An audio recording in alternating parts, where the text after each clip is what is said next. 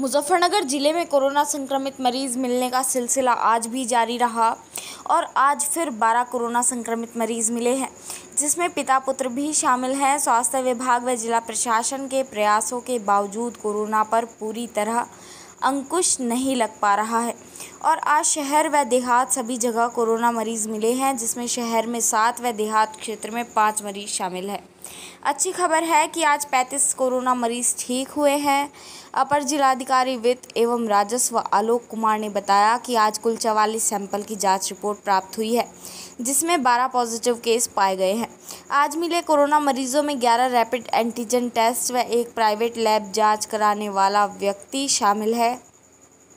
आज दो कोरोना संक्रमित मोहल्ला आर्यापुरी से मिले हैं, जो गत दिवस मिले मरीज़ के परिजन हैं और उसके संपर्क में आने से ही संक्रमित हुए हैं। इसी प्रकार दो कोरोना मरीज़ कंबलवाला बाग से मिले हैं, जबकि एक साउथ सिविल लाइन का रहने वाला है। दो मरीज़ नई मंडी क्षेत्र से मिले हैं, जिसमें एक जानसठ रोड का निवासी है, जबकि दूसरा पटेल नगर का रहने वाला है। सभी ने रैपिड एंटीजन टेस्ट से अपनी जाँच कराई थी। और उनकी रिपोर्ट पॉजिटिव आई है। स्वास्थ्य विभाग की टीम ने शहर में मिले सातों मरीजों को कोविड अस्पताल में भर्ती करा दिया है। इसी प्रकार पुरकाजी क्षेत्र के गाँव फलौदा निवासी भी कोरोना संक्रमित पाया गया है। खतौली कस्बे में पिता पुत्र के कोरोना संक्रमित पाए जाने से कस्बे वासियों में हड़कंप मच गया।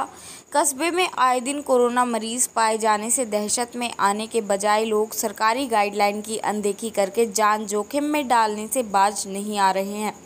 कस्बे के मोहल्ला गणेशपुरी निवासी परिवार ने नजला खांसी, बुखार की शिकायत होने पर गुरुवार को सरकारी अस्पताल के चिकित्सकों से संपर्क किया था। कोरोना डेस्क जाँच केंद्र पर किट द्वारा की गई जाँच में घर का मुखिया व उसका नौ वर्षीय पुत्र की रिपोर्ट कोरोना पॉजिटिव पाई गई।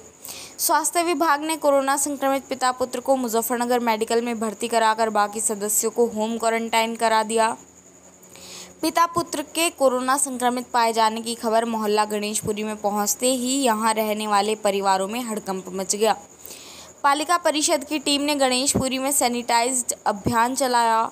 इसी प्रकार चरथावल कस्बे में आर्या इंटर कॉलेज के पास रहने वाले सीमेंट कारोबारी के देवता देवती भी कोरोना संक्रमित मिले हैं। दोनों कुछ दिन पहले ही अपने नाना के यहाँ आए थे और कोरोना टेस्ट कराया था, जिसमें उनकी रिपोर्ट पॉजिटिव आई है। दोनों को मेडिकल में भर्ती करा दिया गया है। उनके परिजनों व रिश्तेदारों के भी कोरोना टेस्ट कराए जा रहे हैं। आज कुल कोरोना मरीज़ बारह मिले हैं, जबकि पैंतीस ठीक हुए हैं।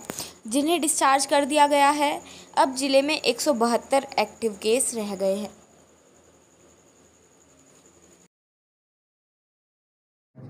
आज सैंपल के परिणाम चौवालीस के प्राप्त हुए, जो कि नेगेटिव थे। इसके अतिरिक्त जो रैपिड एंटीजन टेस्ट के माध्यम से ग्यारह व्यक्तियों का सैंपल पॉजिटिव आया है, और एक व्यक्ति का प्राइवेट लैब से सैंपल पॉजिटिव आया है तो टोटल बारह पॉजिटिव केस आ जाए हैं।